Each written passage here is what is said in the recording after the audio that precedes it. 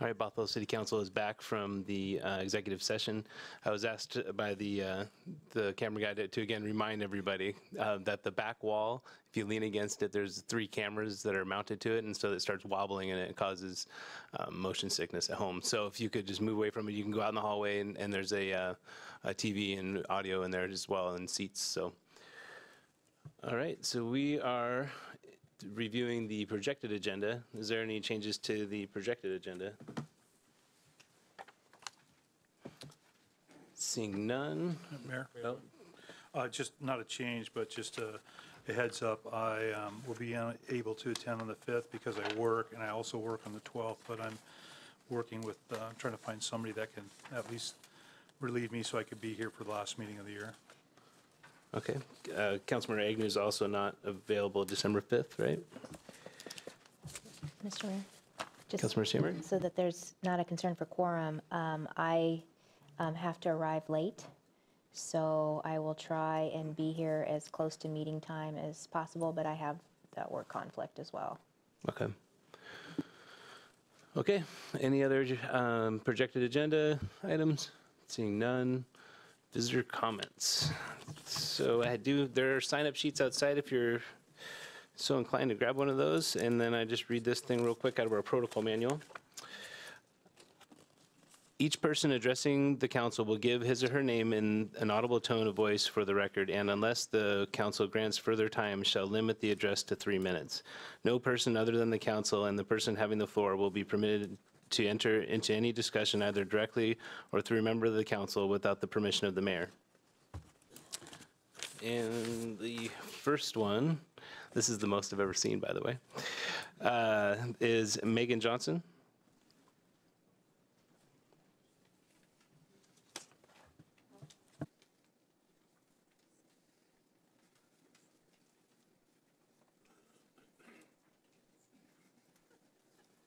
Thank you for letting me go first. Um, Impatient, uh, they only have so much patience. Uh, My name is Megan Johnson, and I am here to speak to you as a concerned citizen in regards to the opening of safe injection site in Bothell. I realize that's not necessarily on the agenda, but I would like to give my, uh, that I'm not open to it. I think I'm very opposed to it.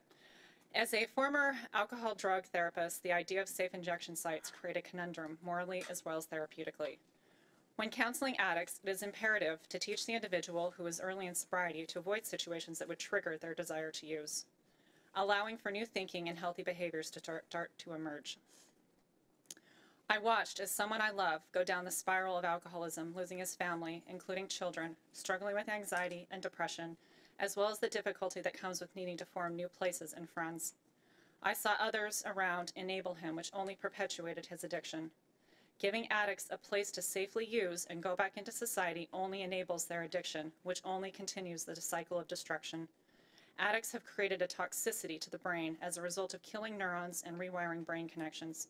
Continuing the addiction only exacerbates these issues. Only abstinence can give the addicted individual a chance to fix the damage. Some food for thought. Studies show that safe injection sites do not decrease the public nuisances of illicit drug use activity. It is not clear, based on studies of safe injection sites, if the high-risk IV drug users that we are hoping to use these sites will actually use them. It has also shown that police presence at the sites will reduce the use of the sites. Just as an alternatives to think of. According to several conservative estimates, every dollar invested in addiction treatment program yields a return of between $4 and $7 in reduced, reduced drug-related crime, criminal justice costs, and theft. When savings related to healthcare are included, total savings can exceed costs by a ratio of 12 to 1. Washington State ranks 47 in the nation for access to mental health and substance abuse treatment. Instead of doing a safe injection site, maybe an alternative would be to open a meth- more methadone and Suboxone clinics where people can actually try to get abstinent, be abstinent, and work on treatment. Thank you for your time. Thank you. Uh, Next is Gretchen Taylor.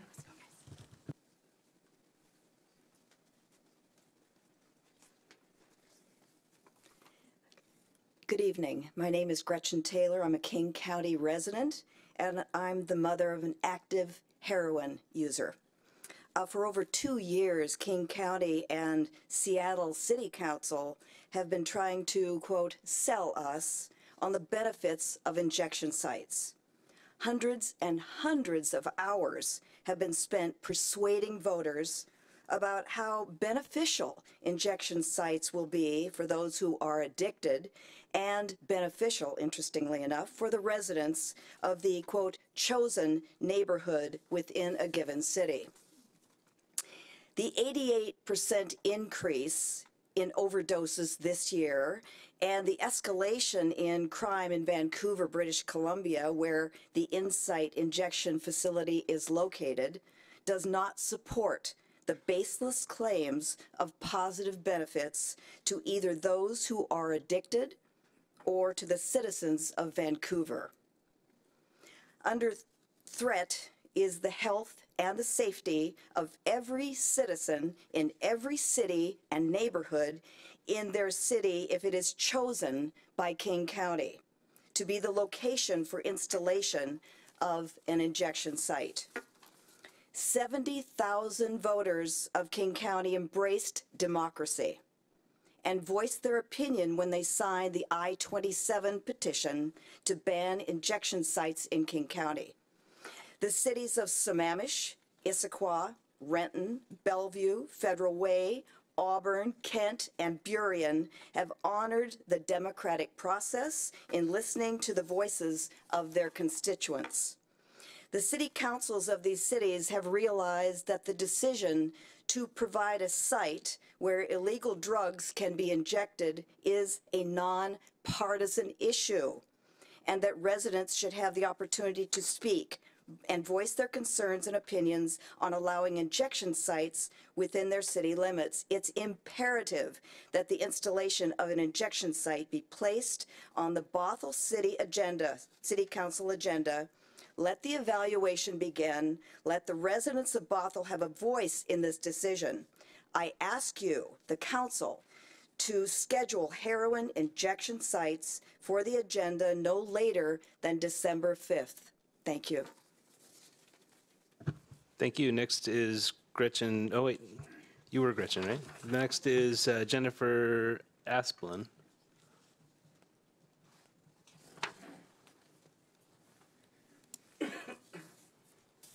My name is Jennifer Asplund, and I reside in North Seattle. Thank you for the opportunity to speak to you all today. I'm here to urge all of you to um, oppose the opening of an injection consumption site and remind you all that don't be fooled by the name. When they say CHELS, C-H-E-L-S, that's Community Health Engagement Locations that's an injection drug consumption site. If they say SIS, S-I-S, safe injection spaces, that's a consumption site. And so I don't want any of you to be misled when you hear the fluff words or the sugar coating of CHELS, because that's not what it is. It's going to be an injection site. My brother died about three four years ago from long-term use of heroin and other drugs that he consumed. He didn't die from an overdose. He died from the long-term use, and he started shooting up when he was 13. I was finding needles when he was 13. So I would urge you all, let all of your constituents here tonight have a voice. Let it be heard before December 5th. Whether you agree with it or not, it needs to be on your agenda so that this can be a democracy and people can have a voice about it. Thanks. Thank you. Next is Whitney, ooh, Negemeyer. Thank you.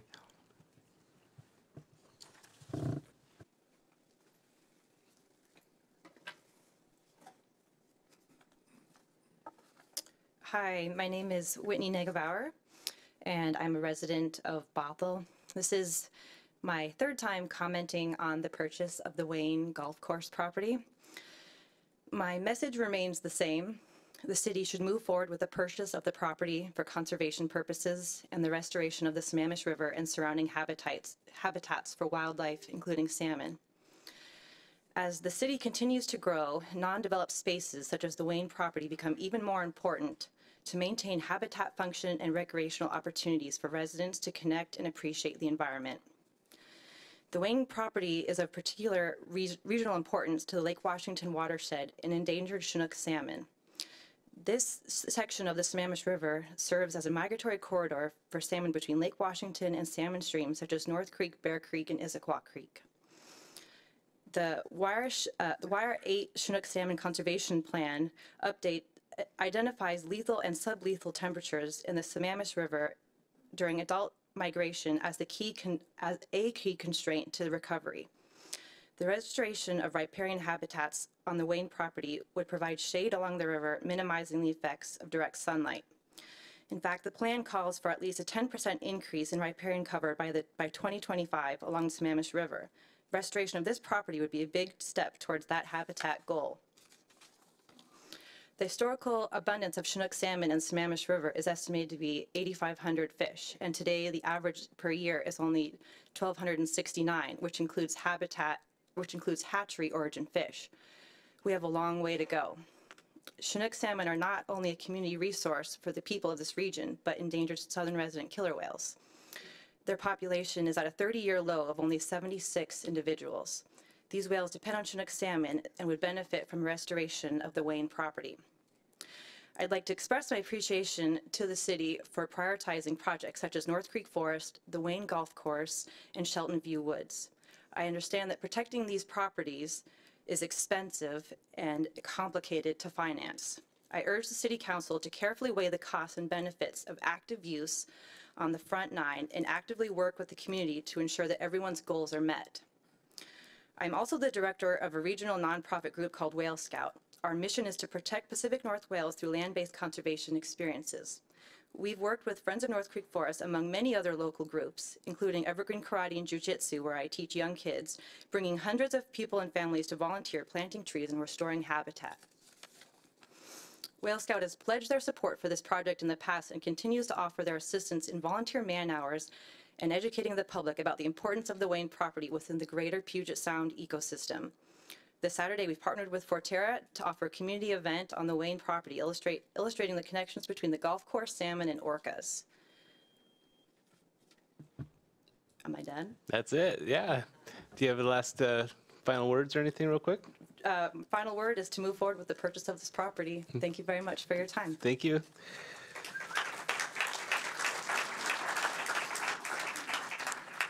Next is Grace Meadows.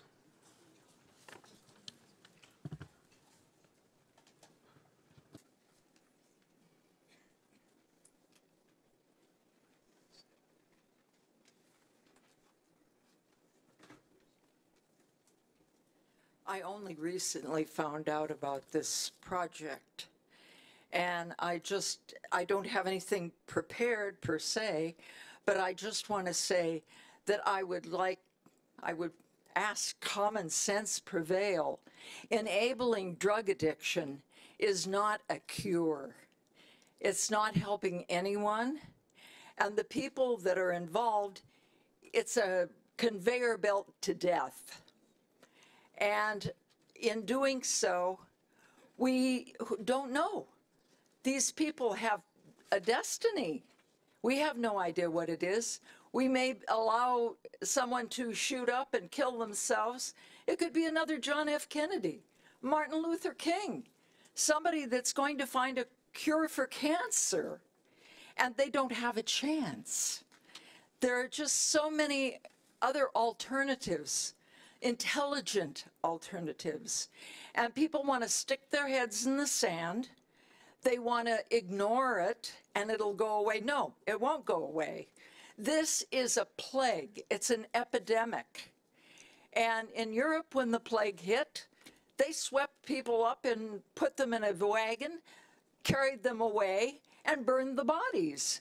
Well, what is going to happen here? People die, and someone just said they don't necessarily die in the injection site. And are we going to go around with a truck and scoop up the bodies and burn them? This is not an option, not an option at all.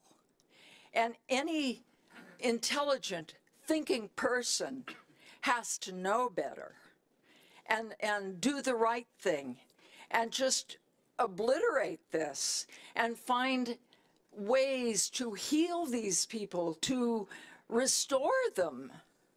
Restoration is the answer, not enabling drug addiction. And thank you. Oh, my name is Grace Meadows. Thank you. Thank you.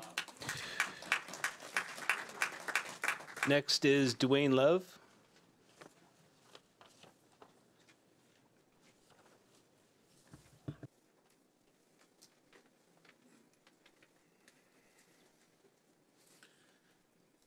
Good evening. My name is Dwayne Love. I am a resident of Bothell. And uh, I just want to thank the, the council here, and I, I hope they will continue to look at this. I want to go on the record, I'm strictly opposed to any kind of an injection site. Uh, Number one, it- last I checked, heroin was illegal. So why the council would even want to look at allowing something like that is beyond me. There's so much better ways to spend our tax money, uh, spend our social service money, and I, I don't see it as being a good thing for Bothell. I graduated from Bothell High School here many years ago. Uh, Bothell has certainly changed, and this, if they bring around this change of opening up some safe injection site, that's not a good change. So, thank you, and I bring this up next month, if you would, where you can get a vote on it and get the people's vote on it and get their input, because I don't think you're gonna find a lot of support for it. Thank you.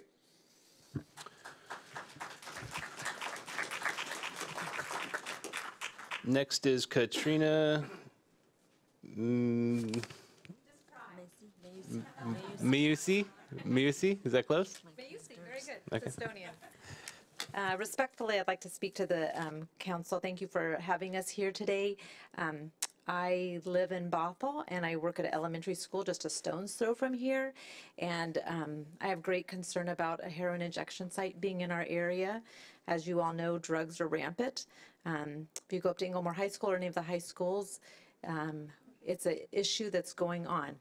Um, as public health nurses, we are trying to help kids get into treatment and find different avenues to get out of that lifestyle. And certainly the heroin injection site is not going to help us in that process. Um, so I would respectfully ask that this is put on the agenda for December 5th. Thank you.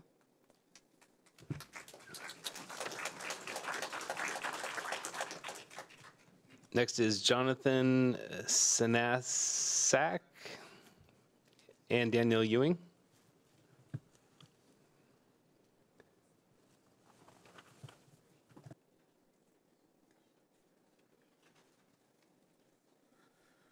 Hi, thank you for your time. So my name is Jonathan Senesak. I just moved here from the East Coast uh, in April, and I'm a resident of Bothell, and I work in Bothell at Seattle Genetics now. And I've been very enthusiastic to hear about Forterra and One Bothell and the Wayne property. Um, I'm a disc golf player, and I was really hoping that I could show my support for uh, the Wayne Golf Course and disc golf because when I moved to Virginia, I didn't know anybody. It's kind of a similar similar situation. Uh, excuse me, of where you know I'm looking for a community and to meet people and to get out and do things and be active. And uh, disc golf was my avenue for that. And I'd like to just show that it's a, a great sport. I kind of say it's a sport for the people. It's a very minimal impact on the environment, and um, I've met a lot of people and um, traveled around playing tournaments and things like that. And I think it could be used as a good fundraiser to help for uh, funding for the, the the course. And I'm Daniel Ewing, another local, uh, continuing in disc golf for both disc golfers as well as many people around the room. Uh, case point, uh, this weekend we had an impromptu event where we had 20 volunteers show up and 39 players with less than a week's heads up. We all brought out our own equipment, set it up, tear it down. Uh, almost every disc every disc golfer carries a bag for our discs, and most of us pick up trash and put it in our bags as we go along. Uh, very very low impact, doesn't require much of any maintenance. Uh, and then as far as tournaments, as he was saying, people will travel, stay at hotels, eat in restaurants. Uh, sometimes hundreds, large will get thousands of people coming in to play and spectate.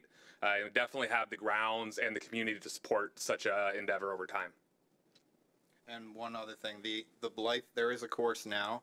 However, it's not really it doesn't drain very well. It's very muddy and So when I moved out here, I played it once, but because I was in like knee deep mud, I kind of moved to different areas. And so now I'm traveling up to Monroe to play, but I'd really like to stay in the, the area. Thank you. Thanks for your time.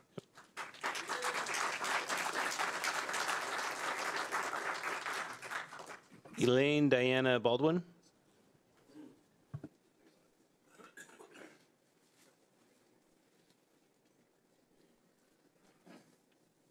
Good evening, council. Uh, My name is Elaine Diana Baldwin. Um, I'm here because I want to please, I, I really do want to see a permanent ban on the injection sites. I think that we owe that much to our children and to the next generation. I remember there was a time when all, most of the schools had a DARE officer in the schools and I see a conflict there. It was supposed to be just say no to drugs. Whatever happened to that? It really breaks my heart to see the different things going on to where people are going to get these injection sites and stay down and perhaps even die because of it. So please put this on your agenda December 5th. I, I beg of you. Thank you very much.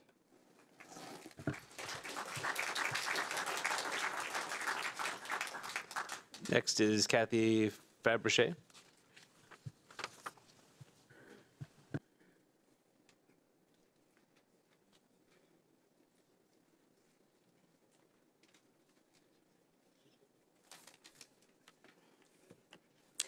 I'm Kathy Ferberchet, and I'm a resident of Bothell. And I'm here to ask you to please accept the conservation grants, which are the Salmon Recovery Funding Board grants and King Conservation Future Trust Fund grants. Please respect the will of over a thousand participants who participated in the visioning process in 2016 and prioritize conservation over non-conservation activities taking place on parts of the property with less conservation value. Please use the city park impact fees not spent thanks to the conservation grants to move toward park equity in the Snohomish County part of the city. Please proceed with the purchase as planned in the summer not with the changes recommended by staff. My understanding is that staff is recommending that the city use its own funds rather than the county and the state money. Thus, it wouldn't have its own money available for projects that can't get outside funds. Please do not abandon the salmon recovery function. Thank you.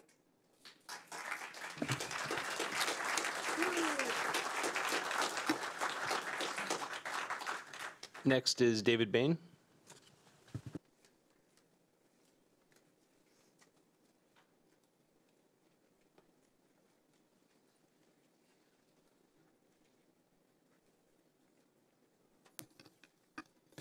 Hi, I'm David Bain, and I'm also here to speak in opposition to the staff recommendation uh, to return the conservation grants.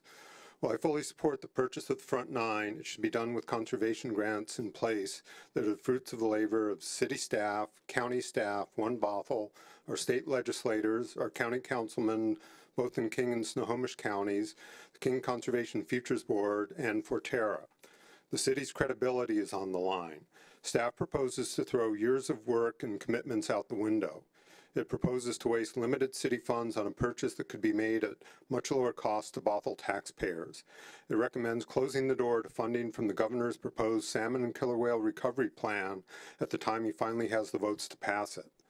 Staff claims flexibility justifies this action while ignoring the far greater flexibility the city's funds would create if spent elsewhere in the city.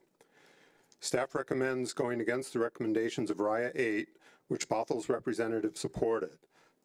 To quote, acquire the Wayne Golf Course, once protected, restore both banks of the Sammamish River and Lower Waynita Creek. Staff failed to consider the science behind this recommendation. The Bear Creek ESU of Chinook salmon is threatened. In the last 20 years, it was extirpated from Swamp Creek, which passes through the west side of Bothell. It has been nearly extirpated from North Creek, which passes through the east side of Bothell. Immediate action is needed to begin recovery of this population and allow reoccupation of Bothell's creeks. Southern resident killer whales, which feed upon salmon from the Sammamish watershed, are an endangered species. They declined almost 10% from last year's count of 84 individuals to 76 at present. Action to recover them is extremely urgent. Staff is also recommending you ignore the work of over a thousand local residents who contributed to the visioning plan last year. They rated conservation as a top priority for Wayne. City leadership ignoring the will of the people is what the majority on this council was elected to reverse. This is not to say that conservation is the only thing that should happen at Wayne. I welcome our friends from the disc golf uh, community.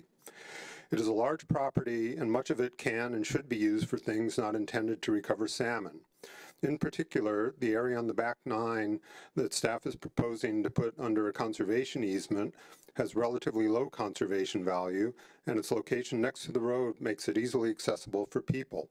Similarly, the area where the clubhouse is located has limited conservation value and is the optimal location for a center to draw people to the site from the bike trails and Bothell Way. If we are to propose changing the council's direction to staff, I would recommend working on a land swap to allow the area along the bike trail to be used for parking and the lower part of the four acres not presently covered by the conservation easement could be protected in exchange. This would make it easier for people to access the western portion of the property and better protect the area most valuable to salmon. Thank you. Thank you.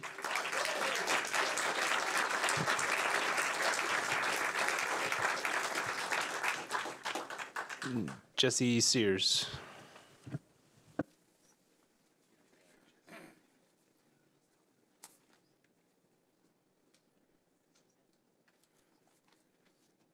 Hi, guys. Uh, Good to see everybody here tonight. It's been a long process. The last uh, few years we've been working on this, and I want to say, uh, you know, thank you for everyone's hard work from staff to everyone's being here. This has been a great community thing, both for the city of Bothell and everybody that's been involved. Um, I would like to you to vote yes on um, funding the uh, front nine of Wayne Golf Course, and then in the future on the back nine coming up here in December. Um, David, I think, did a great job of explaining One Bothell stance on the environmental impact that this property uh, has and the future within our city. Uh, I think it's a great story of knowing that we have one of the most densely populated uh, rivers that still has a wild salmon run that runs up it.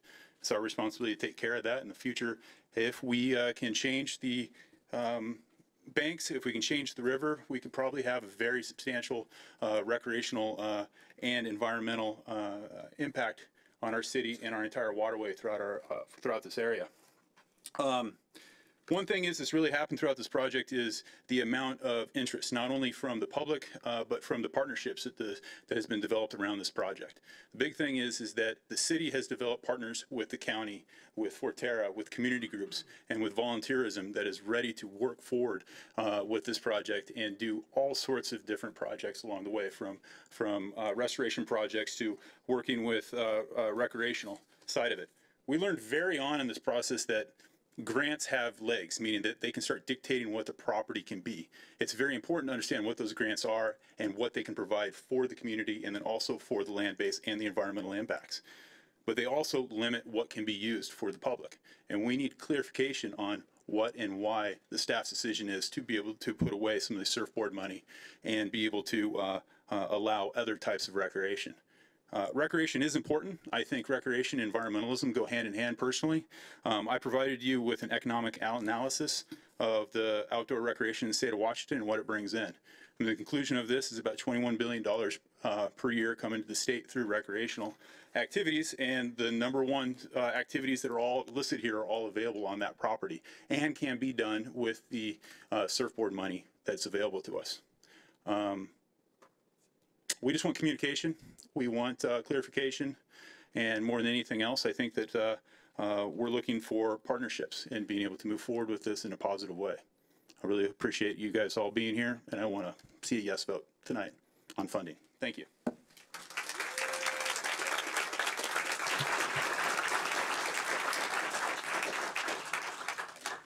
Bob Karsrud.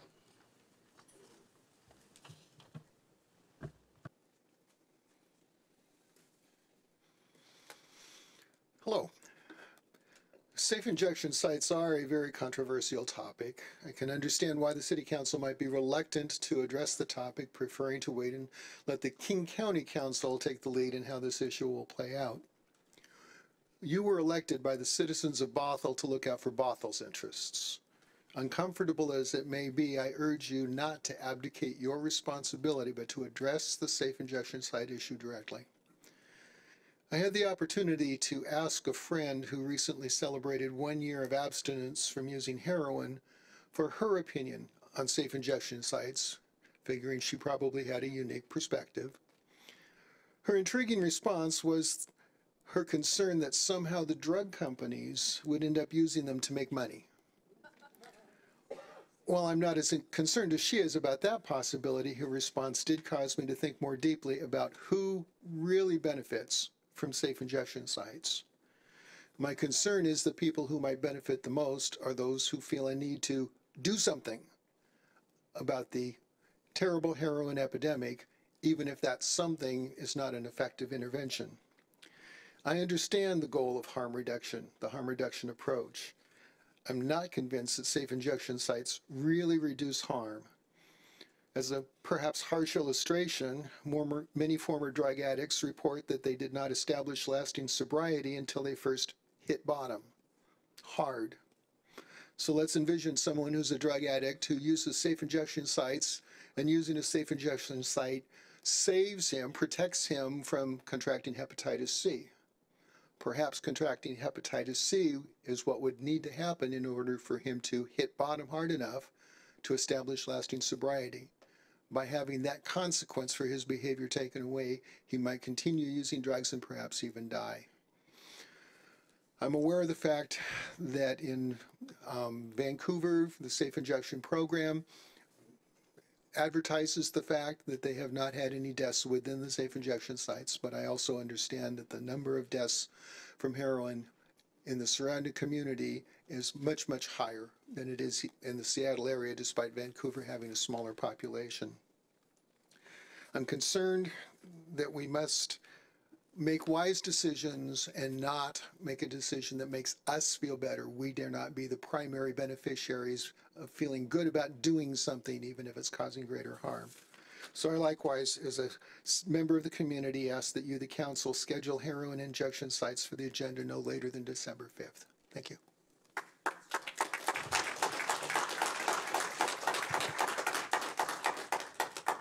Richard Helgeland.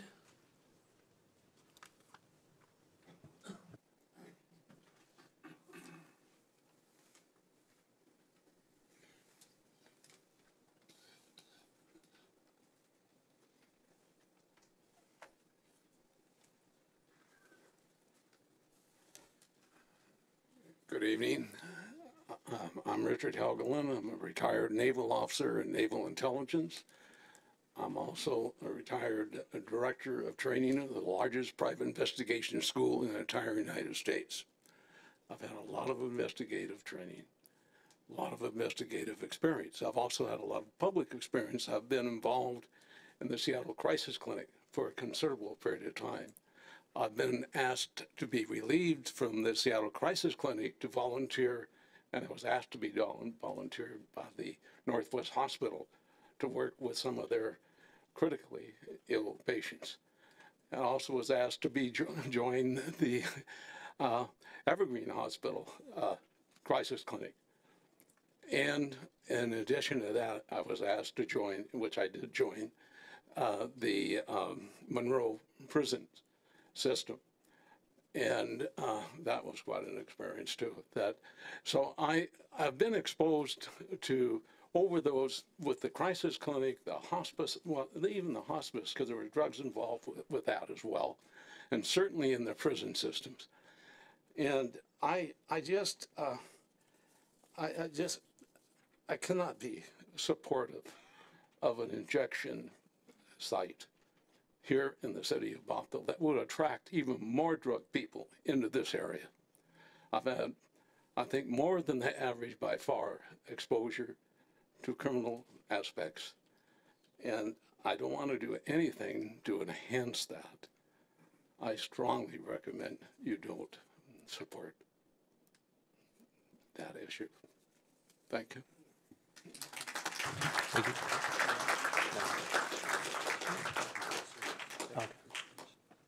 Uh, sir? Sir? Sir? Is it, is it Lieutenant Commander? I just want to um, thank you for your service. Right.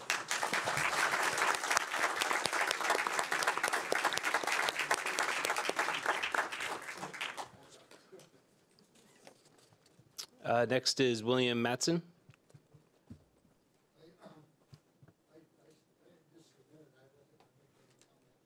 Oh, okay. We got lots of them, so next one is Jim Freeze.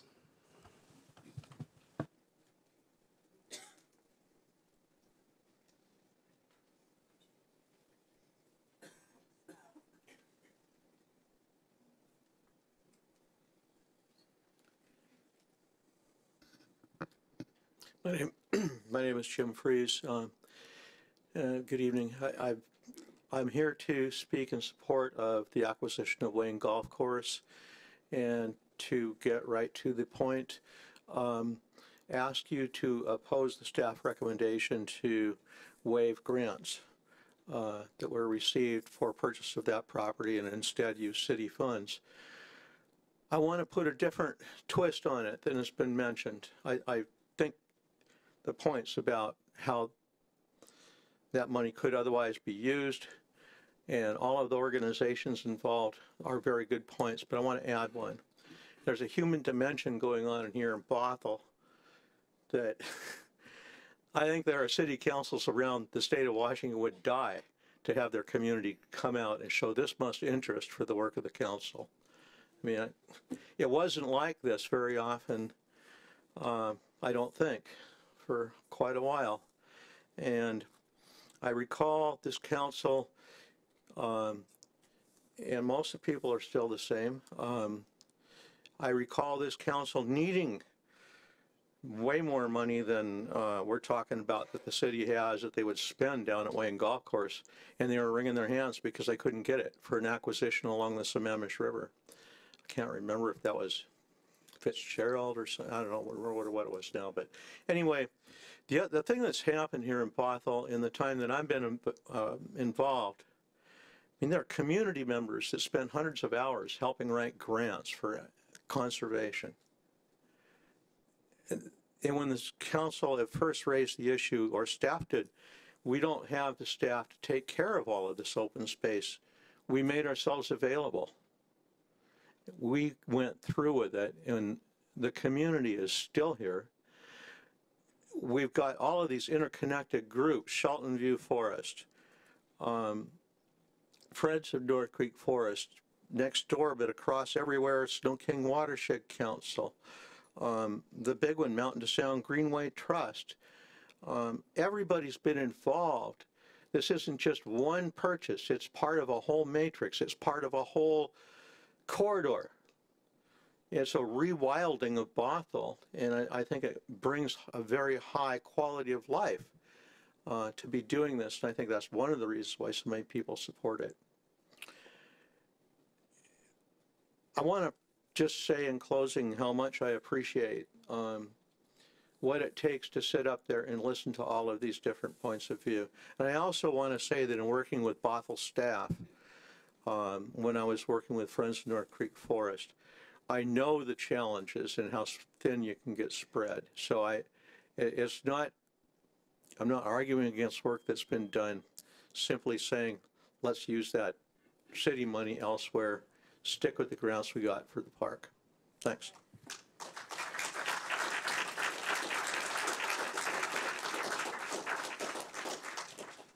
Next is Michelle Connor.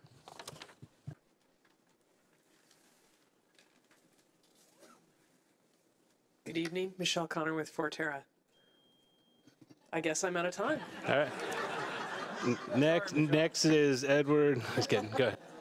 So all I wanted to say is in 2015, the community was in a little bit of distress about the opportunity to save this property. And y'all asked us to go out and see what we could do to get a hold of it. We did. Worked hard with the staff to try to create resources so you have a choice about how to fund it. The future's in your hands. Thank you for your leadership. You got a great legacy to take to the next step.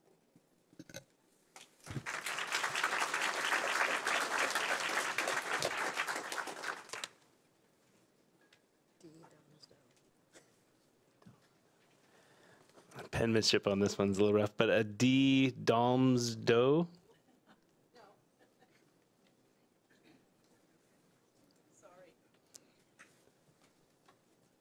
My name's Deborah Doms. I'm an osteopathic physician, which is DO. Oh, you're a doctor. there we go. And uh, I appreciate the opportunity to speak to you. I'm um, an anesthesiologist by training, residency, board certification in anesthesia and pain management. I spend some of my time treating private patients with pain, and I spend some other parts of my time treating addicts with medication-assisted treatment at a facility on the east side.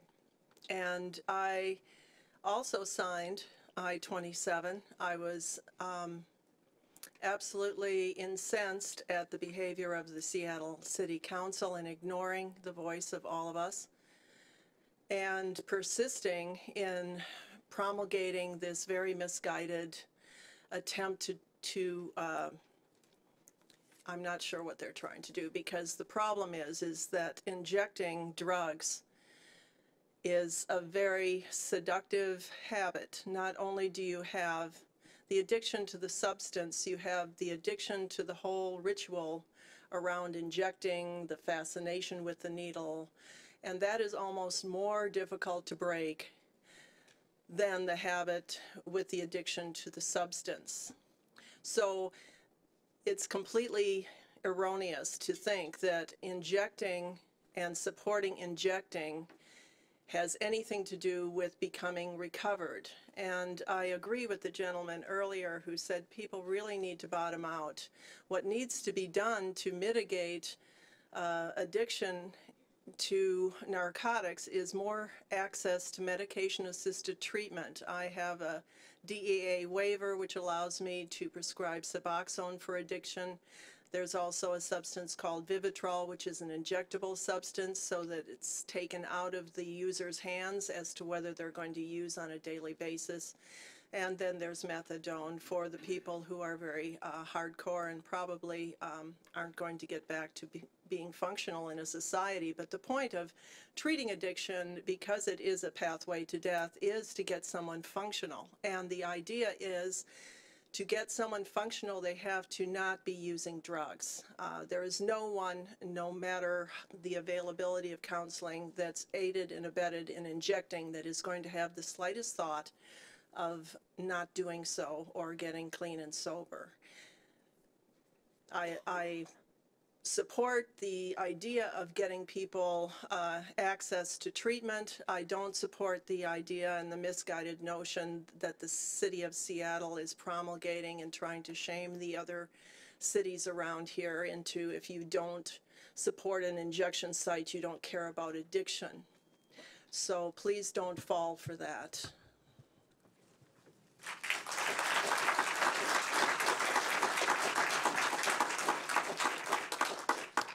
Edward Norton.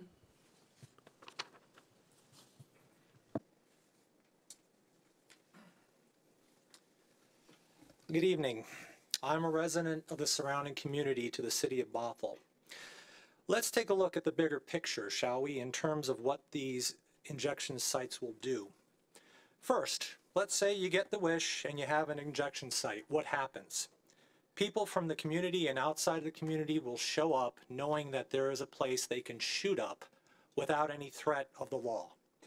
Second, homelessness that goes with it will also increase because many of these people are homeless because of their addiction.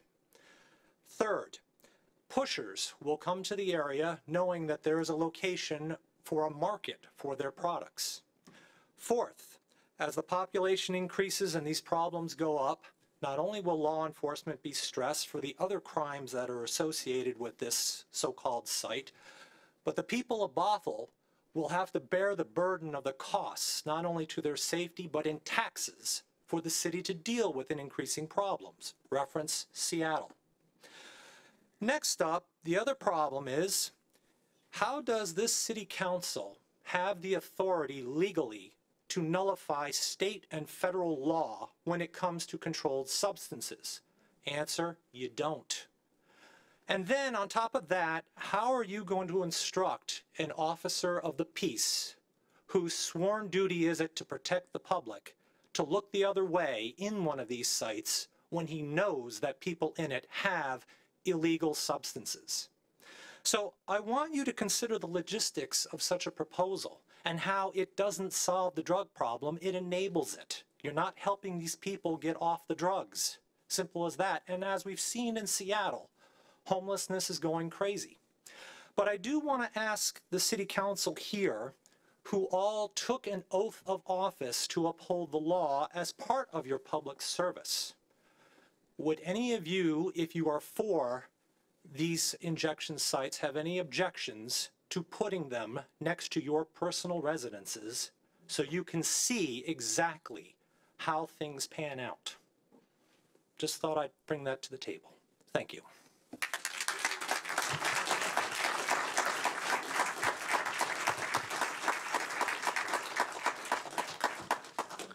Next is Sid Saini. Can I go in that place? Is it okay with Sid? I'm sorry, what? Could I take Sid's place real quick? And your name was, are you on the list? I'm not on the list. Okay, go ahead. Hello, my name is Marcus Dorsey. I'm a pioneer of the Western frontier. I have come for life, liberty, and property, but as of now, I don't own any property, so I am what many people call homeless. What that man said was absolutely correct, and I, I um, well, I'm not necessarily, but uh, okay. In, in regards to the the injection site, which I'm new here, so I'm not going to really chime in on that. But I'm from Inglewood, California, and uh, I was born in the 90s, and the, that crack epidemic ruined my community. So I would warn against allowing uh, people to come here and use drugs. I came here, I had a friend who asked me if I found solace in the landscape around me, and I have in Washington. It's beautiful here. Uh, I, you know, protect your community. Um, this is the warmest I've been in a while. I'm homeless, and your body heat is warming me, so I'm feeling very warm, and I'm, I thank you for that. Um, I came here to address homelessness. Uh, I am homeless. A lot of times, you know, we don't know why people are homeless, so they all get grouped into a box, homeless. Um, if you have a, a baby, then you become a family, and they get a priority. A single man that's homeless, there's really, it's, uh, and I'm a terrible speaker. I'm just here. But um, I always had a horrible time with mathematics. And I remember I got very upset when I was learning in school. I didn't do good. But my teacher, they gave me a, a, a problem and I, I, I was after school for a long time trying to solve it. And they finally, they gave me the answer. They said there's no solution. And uh, I'm hoping that this isn't one of those situations where there's no solution. Uh, I struggle with uh, mental health issues, and uh, well, I would say thank you for your service in serving the community. I gotta formulate my thoughts, but knowing that there's a community here and, a, and, and an involved community, there's gonna be opportunity for something. So I hope to one day uh, be able to serve the community. Uh, but first, I gotta worry about my three meals a day.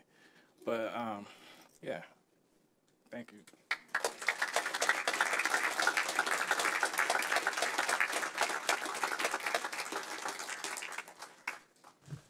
So is Sid back? Sid Saini? There he is. Thank you, City Council, and thank you, person who was speaking before me and took my spot. I'm Sid Saini. I'm the King County um, resident, and I love the city of Bothell. Um, I'm going to talk a little differently, and I'm going to use very simple language. Um, I'm a recent graduate student from UW, and I've been ambassador uh, up there.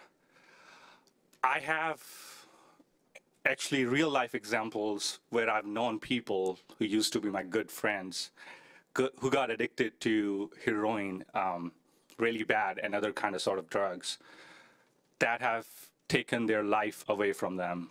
Um, they're not being able to focus on their studies or any education.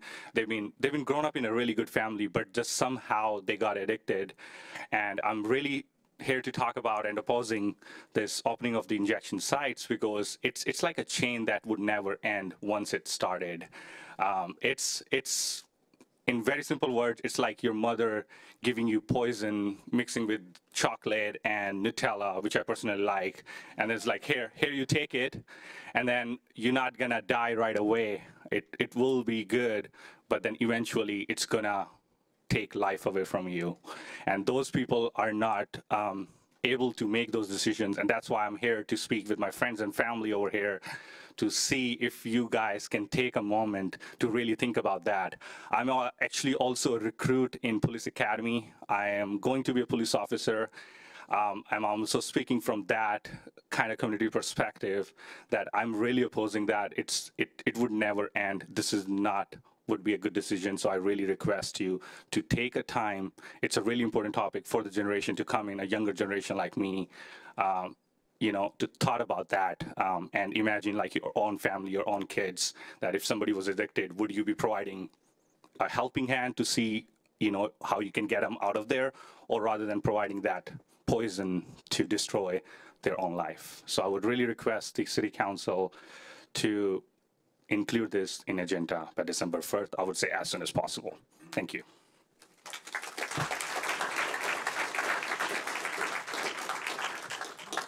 Next is Nadia Karalash.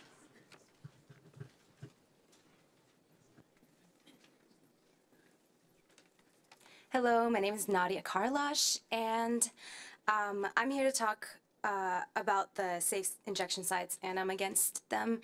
And um, I'm asking my council members to please do not ignore the voices of the people.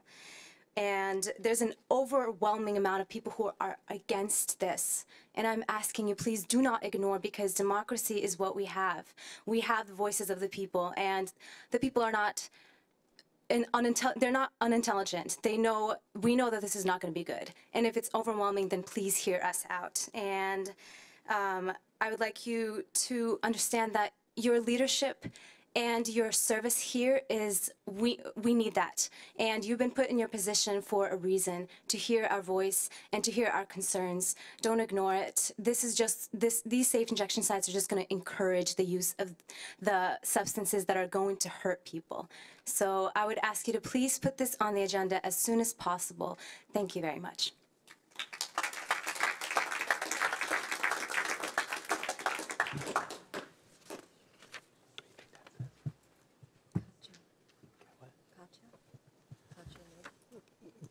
I think it's Kacha Lib. K A T, not sure the two letters. Happens all the time. That's okay. Um, so I'm Kat, and I am so happy to be here. This is amazing. I just, I don't know. I want to do this more often, but um, I am actually opposing um, what we call safe injection um, sites. Um, well, one of the reasons is that my father passed um, away from heroin overdose. So when I heard about this, honestly thought my friend was joking when she told me that you guys want to accept it. I'm not saying all of you, but um, I thought it was a joke. And then she told me it was serious, so I came here. And um, you know, in order to solve an issue, um, you have to get down to the root of it. You cannot mow grass and then expect it to, you know, uh, not be there or, or trim trim uh, weed and then you, you know you have to pluck it out. You know, so what I would say is to um, have rehab centers. Those are proven to be more effective than safe injection centers. And also, the last reason why I oppose this is because I'm a pre-med student right now. And um, I and, and- and I know that you guys want to hire like nurses to make sure that the heroin injectors are doing it correctly, I guess. I don't know. But I would not be able to, without as much compassion and love I have for people, and knowing that, you know, we're all like so different and nobody can be replaced, to be able to watch somebody do that, especially my dad, or just not even my dad only, but you or my neighbor or brother. Um, I just don't have it in me to witness that. So thank you for hearing me out.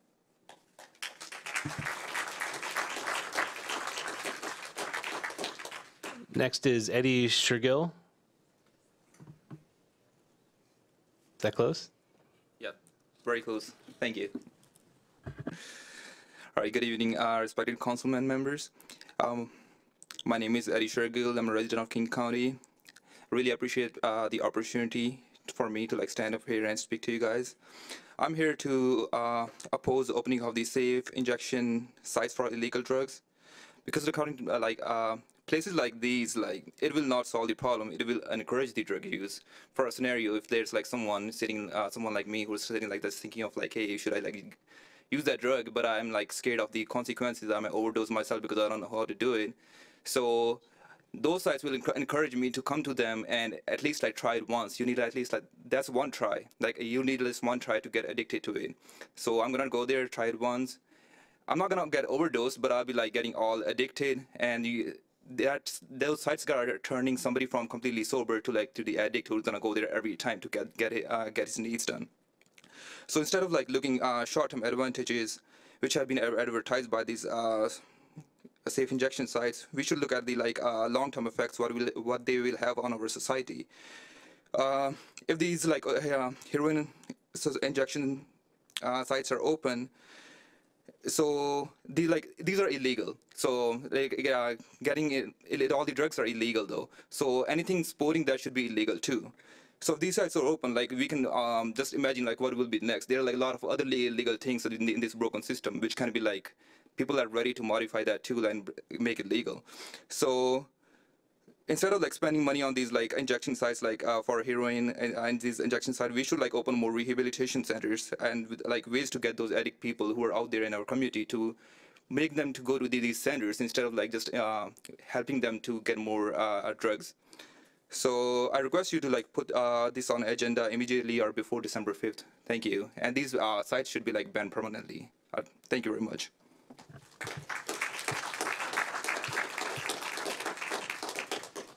Next is Veronica Garcia.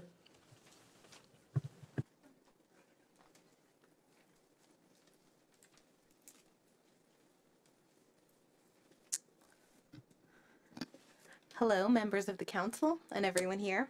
Uh, First of all, thank you for coming and thank you for hearing us today. Uh, My name is Veronica Garcia. I came tonight to represent and on behalf of the hundreds of Bothell residents who signed Initiative 27 to ban heroin injection sites. I myself am in Bothell on a daily basis and have come to love and appreciate the city. It's a beautiful place. I've also written a letter to the council on injection sites, which I received no response to. I understand certain members of the council have declined to put injection sites on the agenda, and I have some questions for you. Does the request of the hundreds of Bothell residents who signed Initiative 27 to ban injection sites matter to you?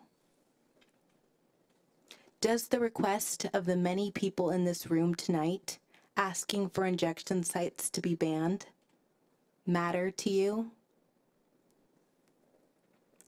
So far, 10 cities have been banned injection sites in King County. I'm calling for Bothell leadership to step up, put members of the community first, and get injection sites on the agenda by December 5th. Thank you.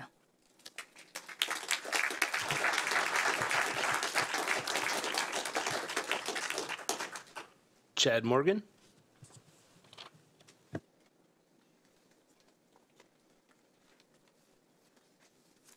My name is Chad Morgan, and I'm a resident here at Bothell. Um, I wanted to say thank you for the council and all their service that they do for us as a city. And um, I did want to ask that you guys would um, put the safe injection site um, topic on the uh, your agenda no later than December 5th. Thank you.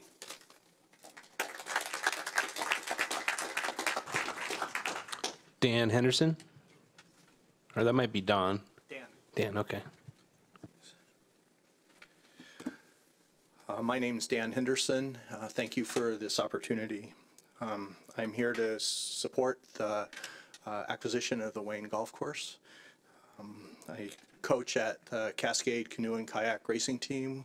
We're located in, uh, at the Blue Heron Landing Marina here in Bothell. Um, We have uh, more than 5,000 um, participant program hours so far this year. So we put a lot of kids and adults and um, disabled people, including disabled veterans, on the water. Um, Our youth camps um, serve as um, uh, introduction to our program. We use racing as a vehicle for ongoing participation, and perhaps our participants will pursue an Olympic dream. We currently have two national team members, one of which is fourth in the world this year. Um, we also serve adults and then the Paralympic Paracanoe program where we've put two U.S. World um, Championship team members on the team. We also host races and hold events. Um, we, and last month we had 72 canoes and kayaks on the river uh, for a race. Um, we're looking for a possible home um, in, in the park and a boathouse that would include a community room, and we're prepared to fund it. There are many really good community partners that I've met um, through the organization of Forterra, and um, I think that uh, we're all anxious to work with the city of Bothell to bring uh, restoration and great active recreational opportunities. Um, and we'd like to, Cascade, we'd like to be one of those partners. Thank you.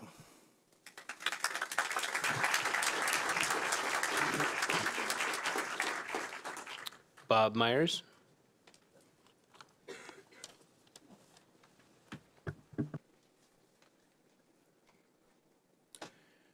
Hello, Council. Uh, I'm a resident of King, King County. Uh, I don't currently live here in Bothell, but I have relatives that do. But uh, I guess uh, for the seven of you, and I like the number seven, that's one of my favorite numbers, um, we're all about the same age. I mean, what are we thinking?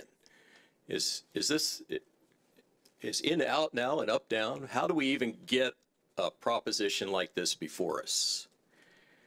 I mean, I think most of the people here tonight, obviously, they're here for a reason. They oppose this move to uh, condone and facilitate uh, the use of uh, uh, heroin and other opiates, addictive drugs, you know, within this within this uh, locality.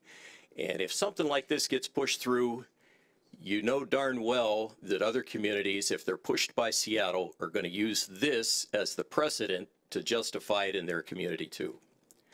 So you seven are on the hot seat tonight, and I hope through the filming of this, your constituents see the move that you're going to make here in the future to put this ballot or this issue on a ballot on a referendum for your people to vote for. Because you're all personally responsible. Mr. Mayor, I I would have to say to you that you were the you were the driver in this uh, force here, and uh, I think you have the big voice to convince your members to push this in the opposite direction.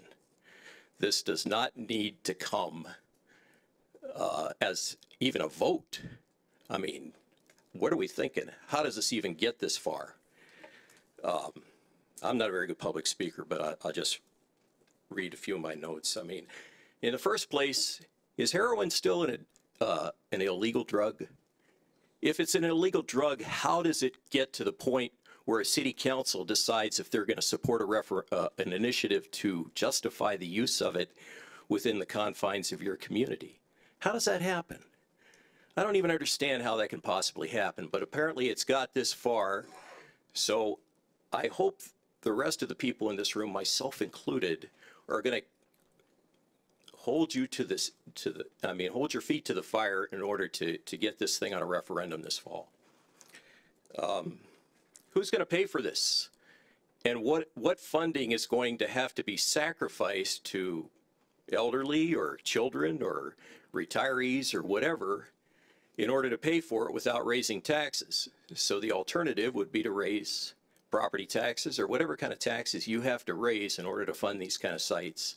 And when you set up these sites, what happens then? You have a circus of providers of heroin circling these sites that are going to be providing the heroin and other opiates to these people using the sites. Is that my time? That's it. I had a few more things to say, but thank you. Thank you.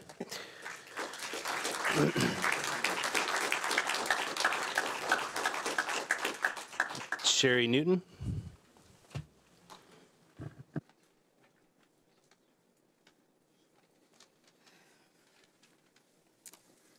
My name is Sherry Newton. I have, I don't do this too often, so I'm just going to read it to you. Um, we are still a republic. We have the right to make the decision on issues that affect our community. You work for us. Our community will make the decision based on our vote. You need to provide us the opportunity to do that.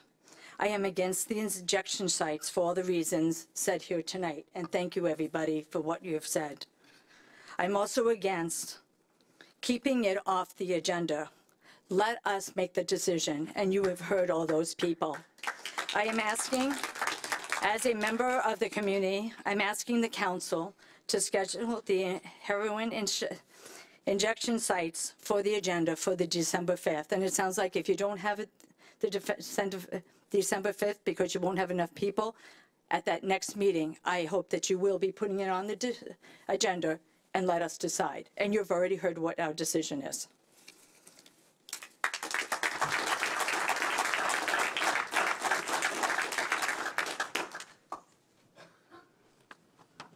It's Marie Noel.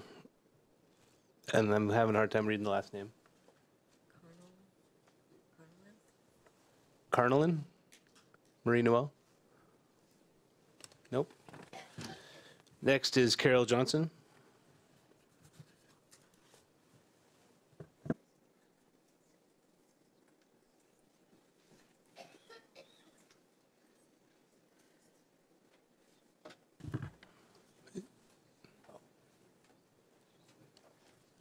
Are you Carol Johnson? No, but she thinks she didn't sign up, or she's allowing me to take her place. Is that a problem? I signed up. You signed up too? Well, I'll call you then. Oh, thank you so much. I No, really appreciate that. Are you are you Mimi? I'm not Mimi. Okay. Well, can we, I have them in order of the, the order they were received, so I'm trying to just honor oh, that. Okay, I will totally step back then. Okay. I'm at Figueroa if I'm in there. Oh, you'll be here. so I just want to make sure Marie Noel, whatever the last name, not here. Okay. Uh, Mamie Fu.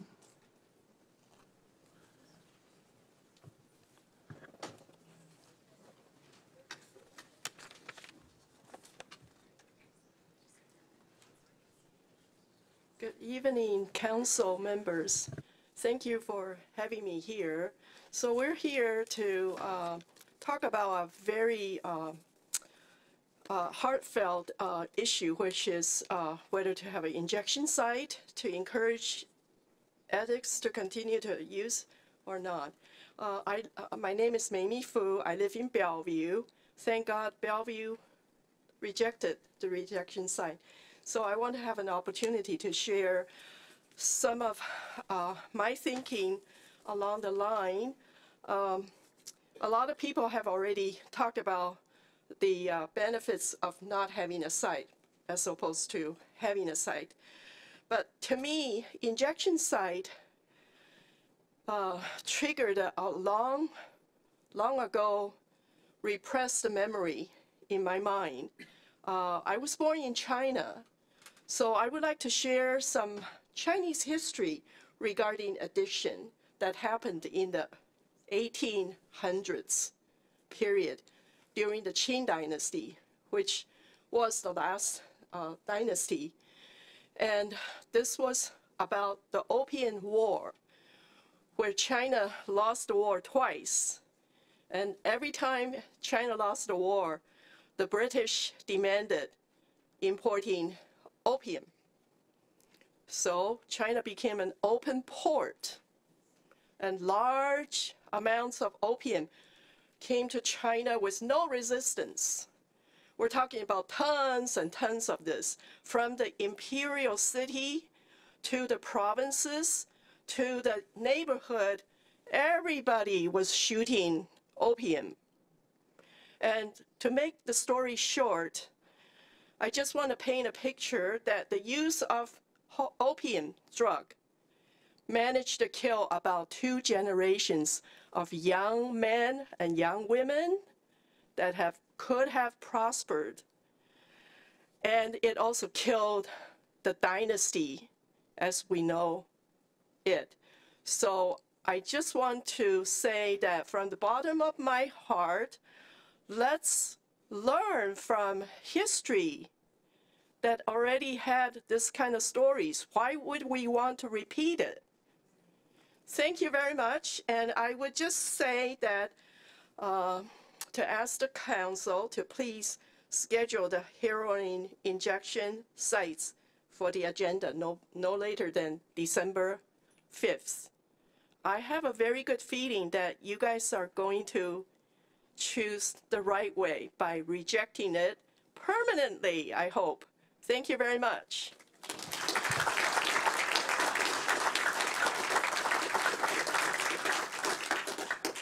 Next is Alex, A L E K S. Hello there. Uh, my name's Alex. I live in King County. Uh, not from Bothell, but I'm from Renton, so I came a little ways. Uh, I just want to say thank you for hearing all of us out. And uh, if you know the amount of people in this room, uh, the amount of people that signed on to the initiative is any indication of how your community feels about uh, these safe injection sites, I think it'd be uh, a mistake not to hear it and not to put it on your agenda um, because it's obvious that the people, at least here in this room, uh, don't want it, and, and, there's a lot of us. Uh, I'm not going to go into reasons because people have already covered uh, you know millions of reasons, and I don't think I have any to add.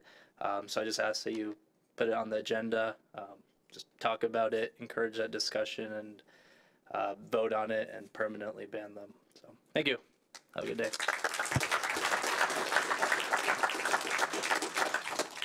Michael Kimball.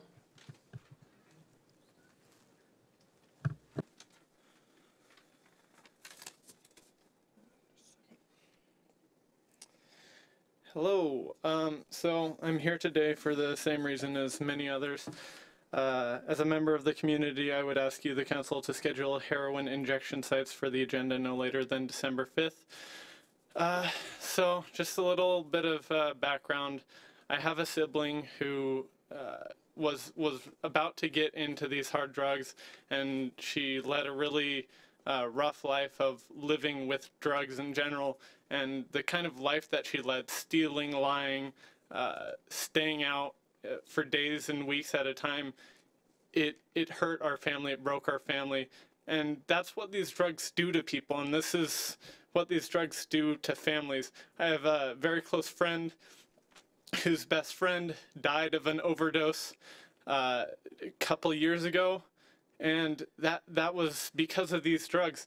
And so I don't I don't understand how anybody can justify allowing that kind of thing to be legal in this state, in this country, anywhere.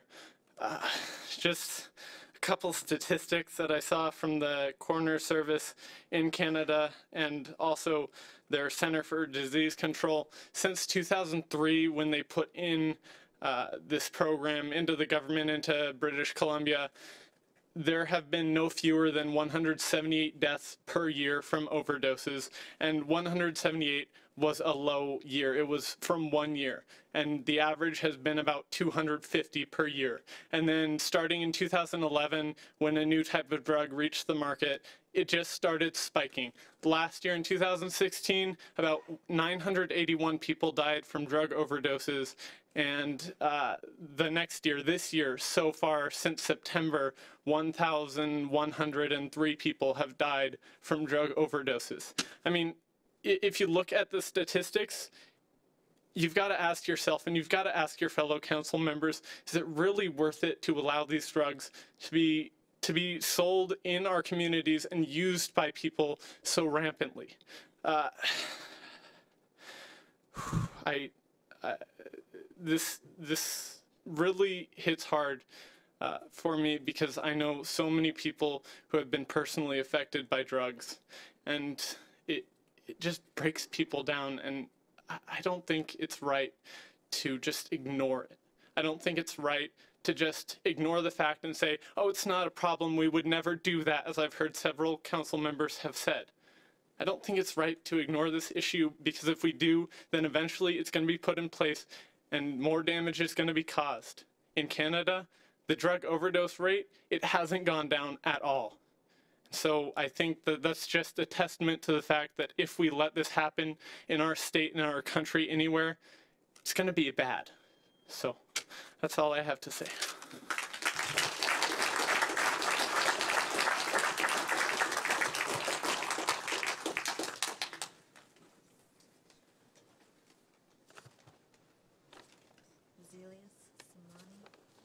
Let's go with Zelius. It starts with a C and then there's a couple scribbles O N I. It's okay. My uh, teachers all had a problem with that too. so uh, a little bit of background about me. Um, I grew up pretty much homeless, and I spent at least four years living literally on the streets. And I've seen um, the uh, the heroin epidemic firsthand. I actually have a family member who's been heavily affected by it.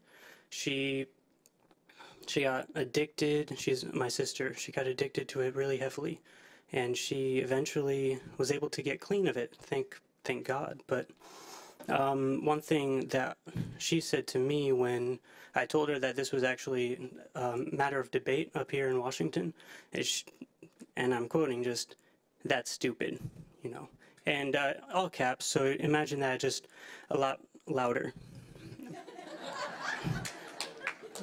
but I want to say that, uh, as many people here have already uh, stated, the the drug problem uh, and pulling the or getting these um, safe injection sites uh, put into place isn't going to really help. It's going to uh, cause much higher, uh, or it's going to enable these uh, drug addicts to just keep doing it, and it'll um, it's been shown to cause uh, more people to actually get into it over time. And I just want to say, you know, enabling these people uh, these people to get uh, drugs is not empowering them. And I just want to say, you know, in addition to all of this, ignoring the issue isn't going to help because as um, the guy that was just here uh, stated, it'll eventually uh, be an issue and we're going to we're going to get people on the other side of this issue just coming in and saying, "Hey, let's let's do it. Let's put them down. Let's uh, uh, put an injection site in." And I hope that with the abundance of people here that have voiced their opinion, that you guys really just understand that it's it's something very important to this community. And last thing I want to say is um, just please make this a matter of discussion no later than December 5th. Thank you.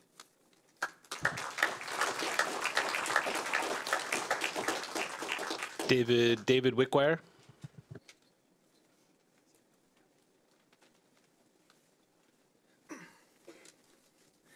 Hello, my name is David Wickwire, resident of Bothell for 11 years. Uh, lived in King County my entire life, and so I've seen it change dramatically over the years. Uh, I was on the Parks Board for six years once we moved here, and I wanted to give just a quick example how the priorities of the citizens and staff and city may diverge on certain issues. Uh, when we were on Parks Board, we were doing the master plan for the park at Bothell Landing.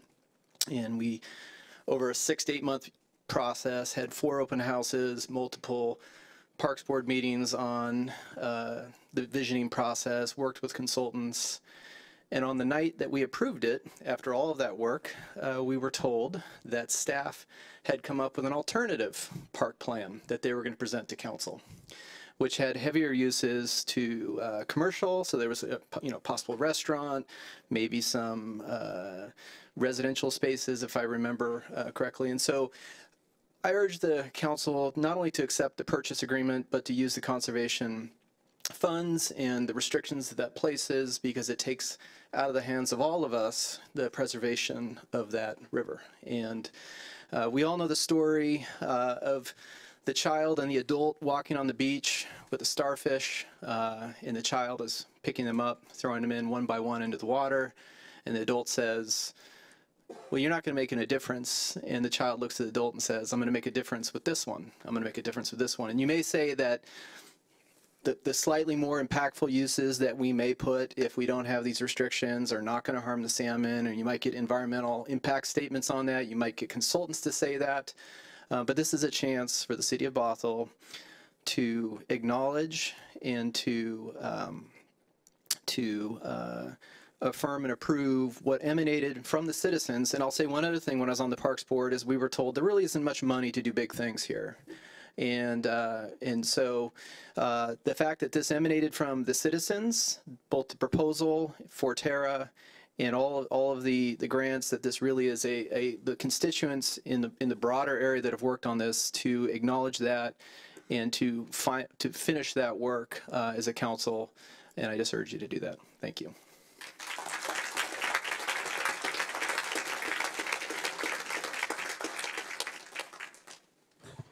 Jessica, maybe it's my eyes, but the, it's F I G, couple letters. Good, I'm here. I'm here. Oh, Hi okay. again. Thank you so much. Uh, it's my name is Jessica Figueroa. I'm a Bothell resident, um, and I'm here against the heroin injection site. So I thank you for taking the time. I know this is a long night. I really, really appreciate it. I just want to acknowledge that the topic of heroin injection sites have been ignored by the Bothell City Council, and that's a bummer because I've lived here for a while and I really care. And I really want to say that I'm bummed out that things have been blocked, and I don't know why, but somebody does. I just want to ask the council to respect the, res- the requests of the residents. I know you're, we're all residents in this, I get it. And you guys have taken up a big job. I respect that. I want to address the issue to ask for a permanent ban on the injection sites. Who am I? Who am I? I'm a mom, I'm a parent, I'm a wife. We all can relate to who we are in society. What we do, I serve the community, I work with homeless, In the past to the present. I care about the broken. I look around this room and I see signs and cutouts of salmon because we care about the salmon and the land and restoration. I hear restoration. I hear restoration. This is not a beat poet moment, believe me. But what I do hear is that how do we restore people? We have power and influence and we have money. How are we using these resources? What do we do with our youth? And these young people behind me and Kat said something about the root of this issue. Gee, we resuscitate people who are dying to give them death to then be, have life, then have death again. I'm confused and I'm stymied. Because I believe in more. And this is not ideology of Pollyanna land. I believe as people, as humanity, we want restoration for the fish. We want restoration for the land. We want something right for the people. And I can look at my kids and I can say, yeah, we don't have needles on the parks and we don't have Hep C and it's a big epidemic. It's real, I get it. But we've got to put some money towards some of the counseling because if they're covering what their darkest, darkest trauma is, how do we reach it? We've got to put money into some of saving mental life and health and heart. And we have to have wholeness again. So I just want to say personally, as a member of the community, I ask you, the council, to schedule heroin injection site for the agenda, please. No later than December 5th. Work with all of us. We want to work together. Thank you.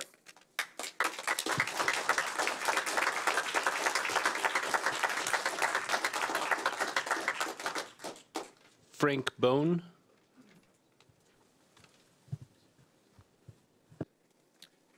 I'm Frank Bound. I want to just uh, briefly urge the council to uh, put consideration of banning the safe injection sites on your December 5th agenda. It seems to me that there are a lot of very practical considerations that are being glibly glossed over by the proponents of these safe injection sites. A lot of public safety considerations, liability considerations, practical operating considerations. Uh, if I were a member of this council, I'd be very concerned about the, uh, the city's legal position if one of these sites were located in your community. So, uh, uh, considering all of those things that uh, I think need to be considered, I think it's absolutely imperative that you take this take this matter up. Let me let me give you just one example. Uh, I got into a debate with the proponents of these safe injection sites down in Seattle a few weeks ago. Uh, a number of them identified themselves as public health nurses and so forth, and people who uh, were authoritative, authoritative on the on the subject. I, I started asking them just some practical questions like, who is it that makes sure that what an addict brings into one of these sites to inject is in fact heroin? I mean, how do you know it hasn't been laced with heavy distillate or something or embalming fluid or, or whatever? Who's, who's going to, it just seems to me that there are so many practical questions that arise around this matter that you have to take it up formally. And uh, uh, so I would urge you to put it on your agenda as such. Thank you.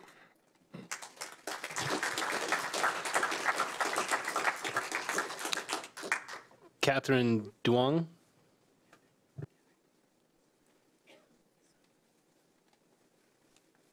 Good evening, everyone. My name is Catherine Young. Um, I wanted to first thank you for having us here and hearing us all out. Um, I'm a new resident of King County. Formerly, I grew up in uh, Pierce County. And I'm here on, to speak tonight on behalf of the um, opposition to safe injection sites. I grew up in a pretty rough community. Um, friends I grew up with, I saw the effects of drug use from their parents, um, and it caused you know children to have to grow up too quickly to take care of themselves and in turn take care of their parents. And so, to anyone who proposes the idea that enabling drug use and enabling um, that the kind of addictive lifestyle, I have to strongly and passionately disagree. And I understand that there has been some um, opposition or passiveness to getting this on the agenda for the city of Bothell. And to that, I have to actively disagree. I think that it's very important to address these issues while we still have a chance to sort of bring it back to the humanity. You know, these are our children, these are our friends, these are people of our community who are going to be affected by this. And so I just ask that as a member of the community that you would put uh, this topic on the agenda no later than December 5th so that the people can have a chance to uh, speak out against it and to help protect and uplift each other. Thank you.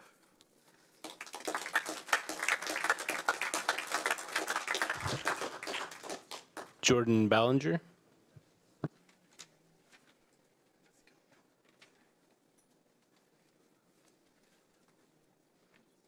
Uh, hello.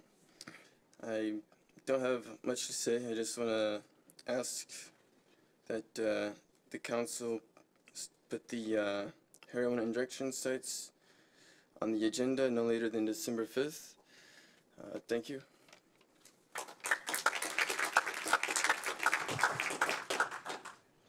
Nicholas Sheldon.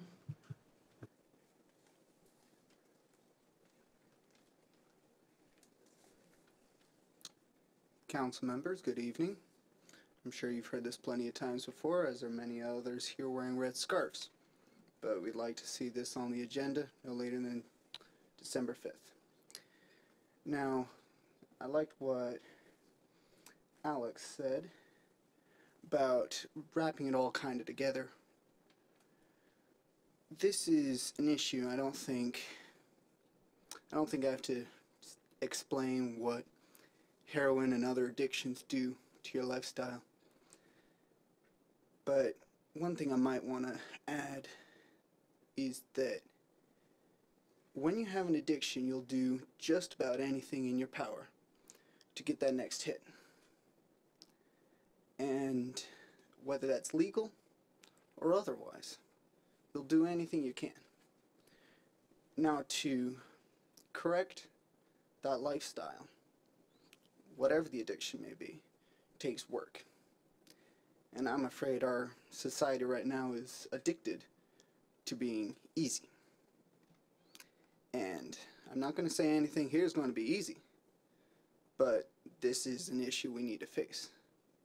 And so I'd like to see this issue put up for discussion because we don't want these injection sites. Thank you.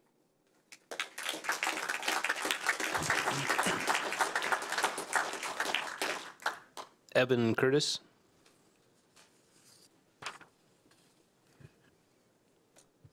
Good evening, ladies and gentlemen. Uh, thank you, council members, for being here tonight. I'm watching you from the sidelines and hearing people's passion or hearing people uh, state stories from their family. It's it's a lot to handle. So thank you very much for being here and listening to us. Um, I'm Evan Curtis. I'm coming from Federal Way tonight to speak out against the idea of a safe injection site for the consumption of illegal drugs. I cannot in any conscience agree with or allow egress of influence of drugs into our communities. Please do not wane away from the controversial issues. Place safe injection sites on the agenda no later than December 5th. I have to ask would any members of the council desire uh, any members of their household an opportunity to safely and legally use these drugs? I know I wouldn't. I do not want to bring children up in a world where no right from wrong, you simply have to walk through a doorway. Please put a permanent ban on heroin use in this country. Thank you.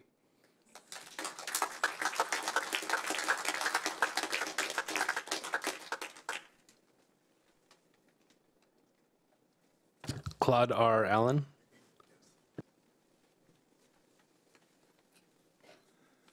Yes, I live and work in Seattle. Uh, I'm a security officer, and I've done this for uh, five years. Um, and I deal with these people every day, and multiple times every day, on the waterfront, Pioneer Square, and uh, the downtown core. so, um, I, I'm not in agreement. I don't think that I don't think that any drugs, any illegal drugs, should be should be used. Uh, all of these drugs that um, they're wanting to use in, at the safe injection site are Schedule One drugs. So um, I think marijuana is just as dangerous as the rest of them. Um, so I hope this is placed on the agenda for December 5th, and I hope that we get to hear from each of you on your position uh, regarding the use of illegal narcotics. Thank you.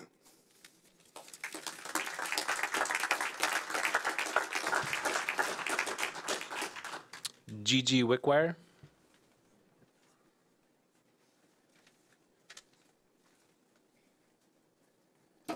Good, good evening. It's been a, a long time since I've been here, and not because I don't pay attention and watch, and but I'm tending a little one. So as I begin, I want to say thank you, and especially to the outgoing council members. Thank you, Councilmember Samberg and Spivey and Freed for your service through the good times and the bad times and the growing and stretching. I'm really grateful. Um, there's been work that's been important, and I'm here to continue to have my voice be part of that work, which is um, conservation and the hope and vision for what Bothell can be and what it is, and um, having heartful, mindful, big vision possibilities be at the center of our conversation as Bothell changes so quickly.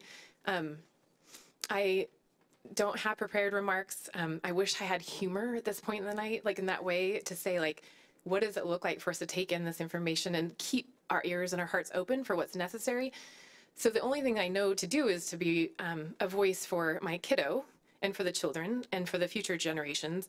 And in particular, um, thinking about how will I explain both of these issues tonight. I'm like really compelled about the complexity of the heartbreak in the room and then the possibility of beauty in the room. Really, truly profound. And um, so I think about the beauty and what's possible with Wayne's golf course. And um, my hope and prayer, my hope and desire, um, longing would be that you continue the voice of One Bothell forward, that you have um, the opportunity to respond to and hold the vision that the community has held through the time and um, ushering and carrying this to where we are now and that you um, have their desire and our desire my desire my children's desire um, forefront. And find that way to actually do the dance that's necessary between city government using staff's recommendations but also the community's voice and find that marriage that's necessary. I know it's possible um, and we can continue to do it differently than it's been done until now. And um, I will say that in that land, as a registered nurse and a, a social worker, a licensed social worker, that um, we didn't have to decide what we're talking about tonight. So I'll straddle that other issue, which is um, I think it would be really hard for me to explain to my child what went wrong with Wayne's golf course if it goes wrong. And I think it would be really hard to explain to my child what a safe injection site looks like and what that is. So I recognize you have very complex decisions in front of you this evening. And my hope is that you will um, think about the health and the well-being of our community as you make decisions um, in the way that you were charged with, as well as I know that is in the source of who you are in your own family of origin and those other things. So thank you for your service. Happy holidays. Good to see you all. Good night.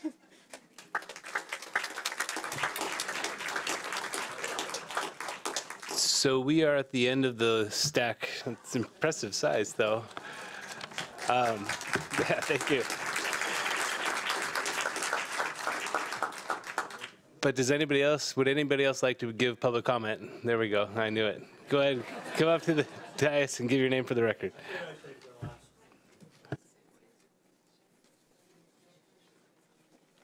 Uh, Good evening, Council. Uh, My name is Steve Holmes, resident and businessman in the city of Bothell. My favorite place to be. Um, On the, my company runs the kayak rental down in Bothell Landing. I got two points to make. I don't really want to talk about that. I just want to mention, I- you already know my feelings on Wayne's Golf Course. I like to keep it as natural as possible. Uh, Our paddlers love launching their boats at Bothell Landing, going down that way and watching nature. So I'll leave that alone so I know that you are going to vote yes on purchasing it. The second thing I would like to talk about, uh, my wife and I raised three daughters here. Um, our last daughter went to Bothell High. She had a rough time there. She, at a young age, she went to three or four funerals for classmates that overdosed. And if my daughter was here now, because she's at work, she would say her story on it, but it was really tough for her at a young age going to that many funerals with our local kids that passed away. And I think most of you um, are against the ejection site. And so maybe someone misheard or maybe I'm wrong. But I know for a fact that this city council will eject it and not allow safe sites for heroin ejection. And I hope that you do vote that way. And we need to keep our city as clean as possible because we're doing a great job as it is. But let's not turn and go the other way. And I would also like to say, of all your help, all of you, thank you for representing the city of Bothell. And I know that you guys put a lot of hours in and you hear a lot of comment and you have to listen to a lot of people and you have to make your decision the right way. And so I thank you for that and good evening.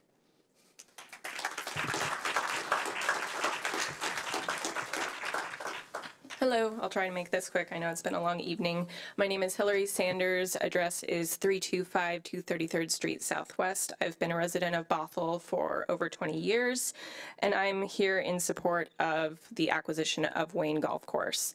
Uh, I am a member with the Shelton View Forest Stewards Group. I'm also on the Bothell Parks Foundation, and I've agreed with everything that David Bain and uh, other members of North the North Creek Forest, uh, Friends of North Creek Forest and other community members have brought up. Um, just one thing that I would add is that the national norm for parks and open space is 10 acres per 1,000 people. And as of right now, Bothell is far from meeting this standard. So much so that it is unlikely that we will meet the goals outlined by the Parks, Recreation, Open Space Action Program. The acquisitions of Wayne, North Creek Forest, and Shelton View Forest will help. Uh, but we need park impact fees to maintain these spaces, especially as Bothell grows. I feel like I need more information about uh, the reasons for potentially rejecting the grants that I know were worked on very hard over many years by many different groups and people. Um, I don't, I'm not sure I understand why we would walk away from that money. Um, maybe some more information would help, but as of right now, I would support us uh, accepting those grant funds um, and not leave that money on the table and, and, and use that to uh, preserve important parts of Wayne that are vital for salmon and recovery. Thank you.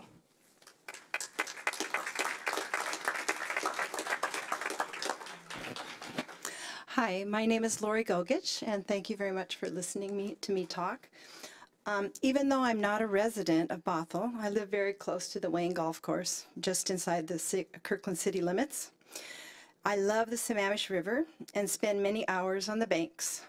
I do water quality monitoring for the Sno-King Watershed Council at both Blyth Park and Blue Heron Landing.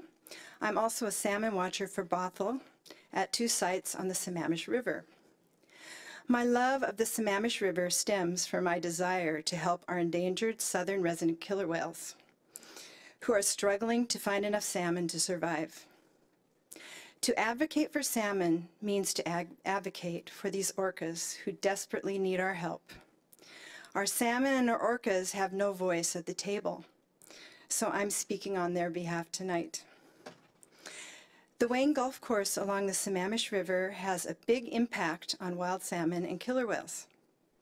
Restoring this property by planting native trees and shrubs along the riverbank will provide the necessary shade that will allow migrating adult salmon cooler water temperatures in their travels up the, the, the river to spawn. This shade will also provide critical habitat for the rearing and out-migrating juvenile salmon as they grow in the river and then journey out to Puget Sound and beyond. These native trees and shrubs will also cut down on erosion of the banks and help to filter pollutants before they wash into the river. Plus, they add beauty by purchasing this property in its entirety, you will not only be helping the salmon and orca, but you will be providing a place for people in the community to enjoy nature and the outdoors. A place for community to gather, walk trails, watch the birds, salmon, and other wildlife that will prosper in the park. People enjoying the park will also be able to enjoy Bothell's shops and restaurants to help the local economy. Therefore, I strongly request that you vote yes on the acquisition for the entire Wayne Golf Course. This future regional park will benefit the people who come to enjoy its beauty, boost Bothell's economy, and care for our watershed that supports our endangered Chinook salmon and resident orcas. Thank you for your serious consideration of my request.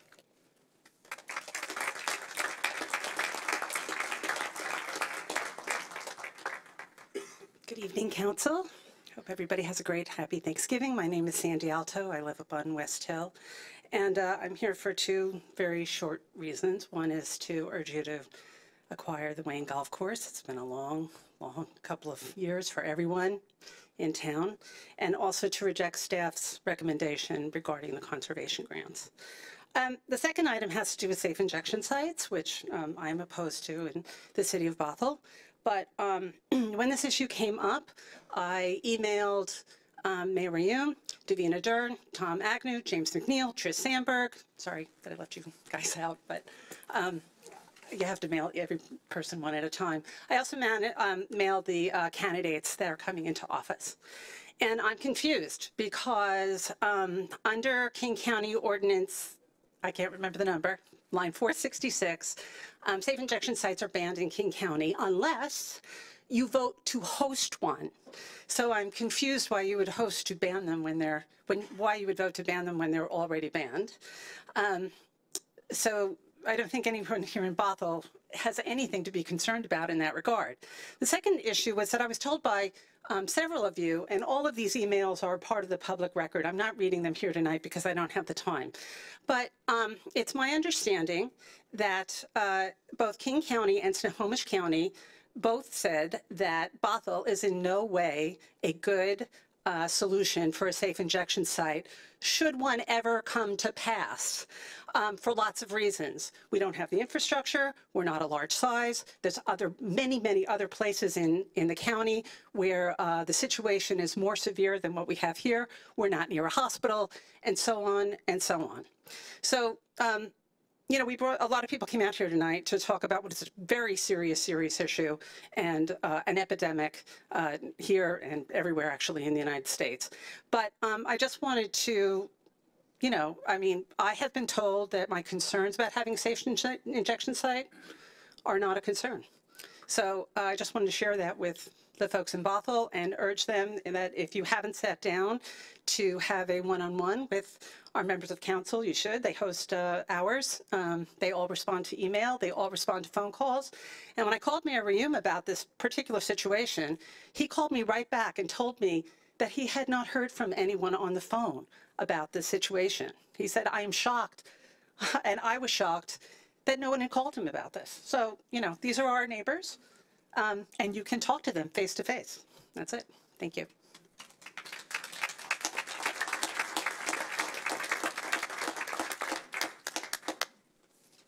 Hello, my name is Marla Selgeland. My husband stepped up here before. And we've lived in Bothell for 50, maybe 54 years in our house across the street from the high school.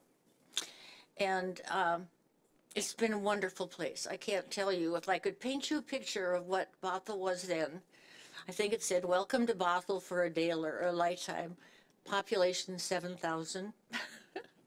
and the and the wonderful experiences our children have had and we have too and wouldn't ever want to live anyplace else i can't imagine with with all those things that can be why we would let something come in like the uh, injection center to spoil it i mean there's there's enough there's enough choices for kids to make out there and adults too and i think we need to keep to keep maybe keep keep Satan away from them a little bit and um, do our job. So please, and and knowing that you all live here and, and love it too, uh, I wish you a happy Thanksgiving and go Bothell.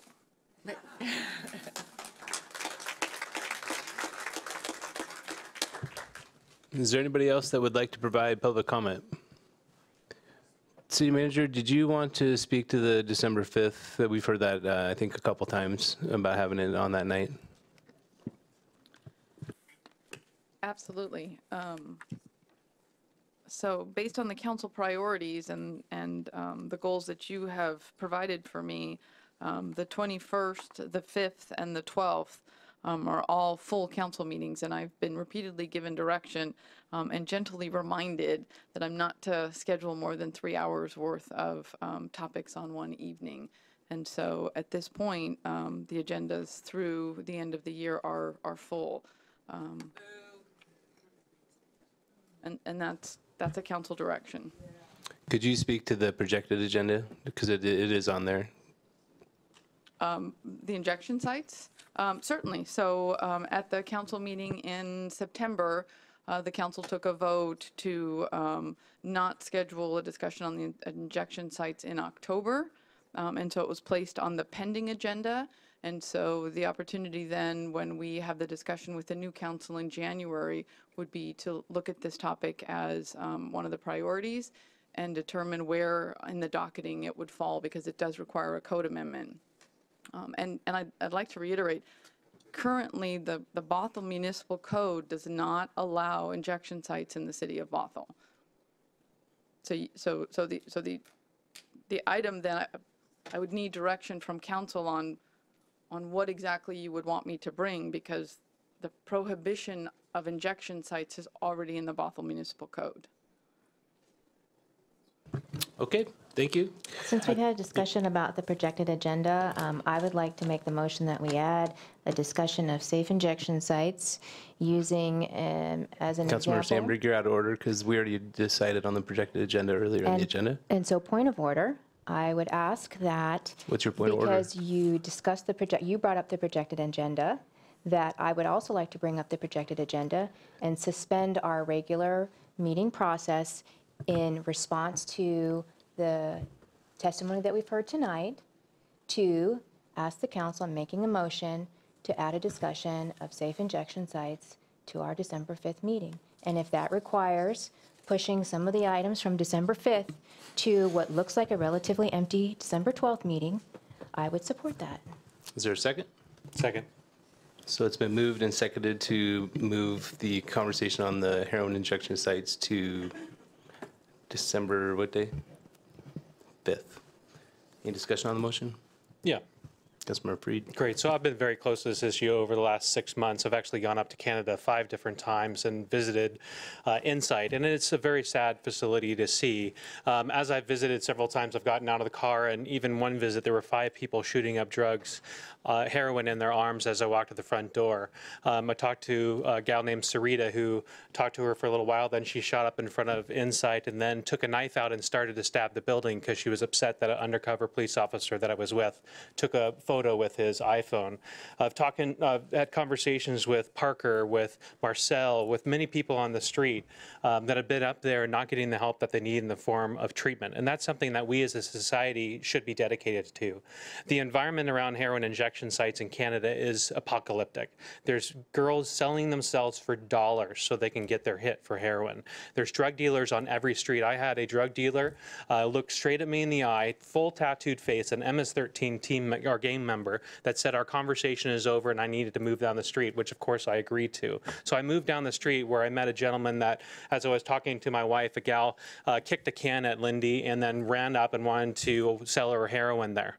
Um, and he told me, well, you don't need to buy heroin, you just get heroin down the street for free. Just go down to the laundromat, take a left at the laundromat, and you can get your free heroin. Canada is now giving free heroin away. It's an incremental step process that happens when you open the door of these type of things. It moves to places that you don't ever hope that they go to. Listen, King County right now, I've been down to many meetings, and it is not an accurate statement to say that heroin injection sites will not be placed in our community unless the city of Bothell says that we want them. I've heard Rod Dembowski, myself, um, say, listen, if we, uh, there was an uh, initiative 27, 70,000 votes, we got it on the ballot, then it was kicked off, but yet King County Council says we need to have an alternative to that. And one of the things that was put on, or tried to put on as an addendum to it, was to say that we need to make sure that cities can ban these. And Rod Dembowski talked about, no, these will be an essential public service. Listen, regardless of a ban on the city or not, uh, King County can place heroin injection sites because they consider it a public health issue. That's the very reason why the judge pushed I-27 out, because it's a public health issue. They didn't want us as citizens to have the right to talk about that. So I want the city of council to ban it because there are four originators of the opioid task force. One, Dow uh, Dow Constantine. Second was Ed Murray. The other two, Dennis Law and Nancy Backus, both their two cities banned heroin injection sites within their communities. So if those two originators of the opioid task force say, no, we don't want heroin injection sites within their city, and they move forward with the ban, why would the city of Bothell sit in ignorance or complacency and say, no, that our code already blocks it? Listen, there's cities that are unanimously blocking it within their cities all of Snohomish County took a ban, bipartisan. This is not Republican, this is not Democrat, it's not Green. This is about people making sure we point them to health. It Costs four and a half million dollars a year to support Insite. Four and a half million dollars. They want two of these in King County as a start as a test project. That's $9 million that could go toward treatment. That should be our heart as a society, not a place that allows people to continue to use heroin, but say, no, what you're doing is harmful to you. Let's get you back into health and back to a place that they need you or we want you to be in society. So my hope and prayer is that the Bothell City Council says, listen, we are a city that doesn't want heroin injection sites. We don't want them here. We want our current treatment center that doesn't have drug dealers, that doesn't have uh, gals selling themselves for dollars. That's what we want within our city because the environment around the heroin injection sites where you legalize heroin use as compared to a place that says get back to health is drastically different. I don't want Bothell to be a place that would say, uh, we're not going to ban it at this point, we're just going to kind of leave the options open. No, let's shut the door today like Snohomish County did two members of the opioid task force, and 10 other cities within the city or the county. So please join me. Let's make it extremely clear to King County leadership. Thank you.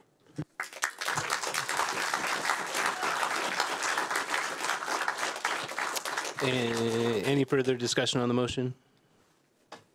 Deputy Mayor? I won't, I won't be supporting the motion. I don't think that gives staff proper time.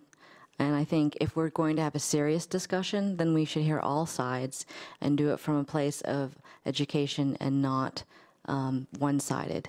And I, I've already been on the record as being opposed to safe injection sites. Um, and I, I don't understand it's already banned, so it feels like it's just a political um, drumming up of people's emotions. And I've already been accused several times by speakers of being in support and wanting one. And, and so to me, that, that says that, that there's not, there's no logic to this. It's, it's just trying to, trying to use people's emotions. I, I'm in favor of, of discussing it early in the year when the staff has time to prepare and when we have a chance to get other people to come and educate us on both sides. Any further discussion on the motion? Councilmember Samberg? I propose this motion not because I want to make it a political matter. This is an, an important issue to the community.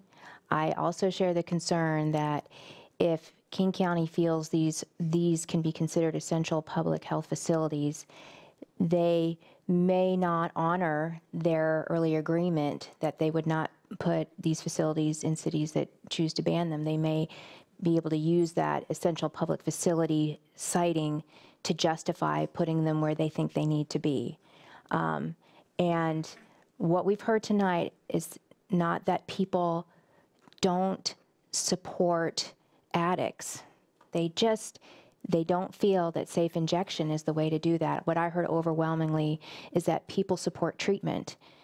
And I share the concern that we have a limited amount of resources and um, not only do I oppose safe injection sites in the city, I oppose safe injection sites in general because if I have those resources available to help people, I want to use it towards treatment, not towards sites that enable behavior. And I think that's what I've heard from the community. And so um, I think they want us to explicitly ban safe injection sites.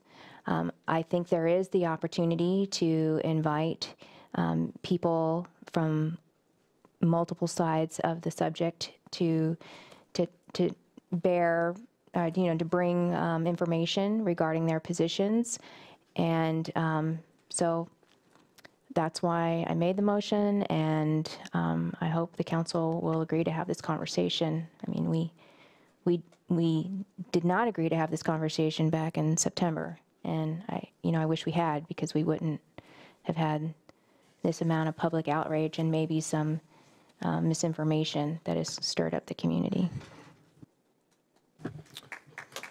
Council- Councilmember, um, sorry, which one, Agnew first? Okay.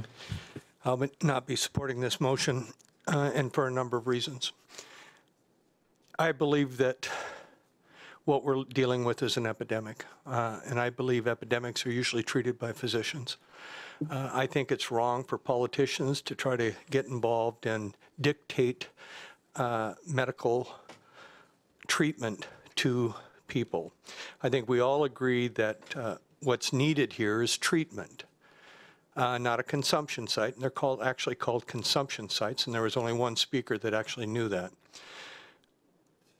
I think staff needs to have more time than a week or two uh, to put together some information for us. So I, I won't be supporting this motion. Councilmember McNeil?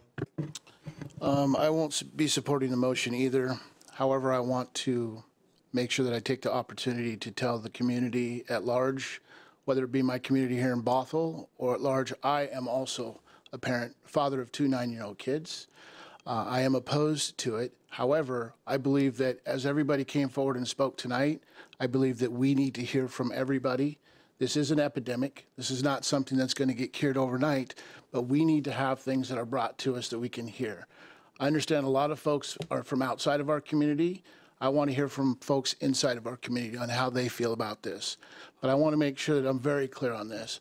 I in no way am supportive of having a site here, but I also know that at this particular point, I've been told by our city manager and others outside that we cannot have, right now, at this present moment, that no safe injection site would be put here, could be put here in Bothell. Thank you. Any further discussion? Councilmember Spivey? Great, thank you. Um, I'm going to support this. I just sat in a uh, hour and a half meeting with an individual where um, this subject came up and uh, brought to me testimony of doctors groups that are getting together trying to figure out ways to um, work with the community to manage uh, the opioid abuse uh, in the community. And these are, and one thing that these doctors groups, um, this doctors group said that was the consumption or safe injection site is not the answer. That treatment is the answer. Um, so that being said, I won't support this. And just because it, the county says, and we do, and it's in our ordinance, there's no harm in reiterating our, our um, position of no. So I'm in, uh, I'm in favor of reiterating our position of no. So I will be supporting this.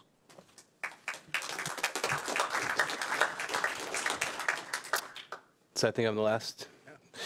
Um, So kind of a side note, I just wanted people to know that I've been in contact with Executive Somers out of Snohomish County, and on December 12th, the council will be uh, having a resolution in front of them to initiate the incident command system for the entirety of Snohomish County in a partial fashion uh, to address the opioid epidemic in Snohomish County.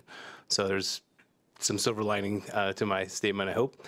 Um, the other part, and I, I'd encourage people to look at the September 3rd meeting. It's the first 15 minutes. You can hear us have this discussion, which we did on September uh, September 3rd, I believe it was. Um, I think a couple of really important things to point out. One, there was obviously a majority of this council that will not allow or vote to have a safe injection site in the city.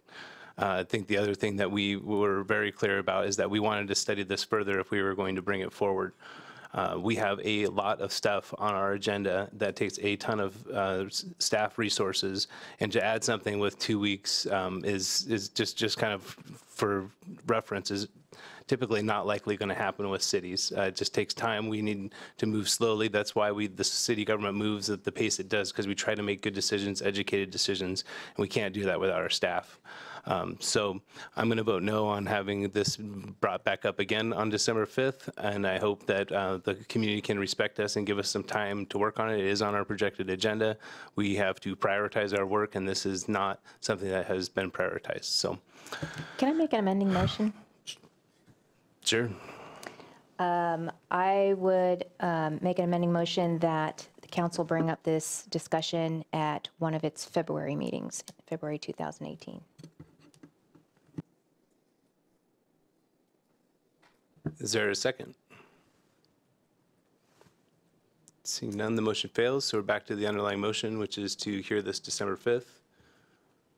Everybody's had a chance to speak. Go ahead and place your vote. Your vote of yes would be to hear it on December 5th.